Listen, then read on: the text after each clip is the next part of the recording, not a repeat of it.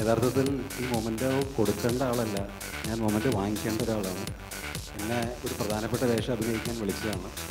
പിന്നെ ജയസൂര്യയുടെയൊക്കെ ശക്തമായ ഇടപെടലുകൾ കൊണ്ടാണ് അത് നടക്കാതിരുന്നത്.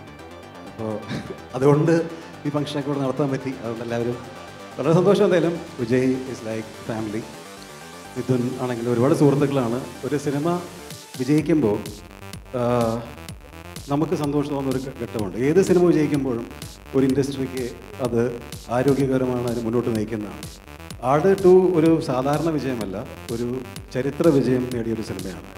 അപ്പോൾ സിനിമ ഉണ്ടായി അതുപോലെ സിനിമയുടെ സക്സസിന്റെ സെലിബ്രേഷൻ ഒരു ഭാഗമാകാൻ സാധിച്ചു. ഒരുപാട് സന്തോഷം.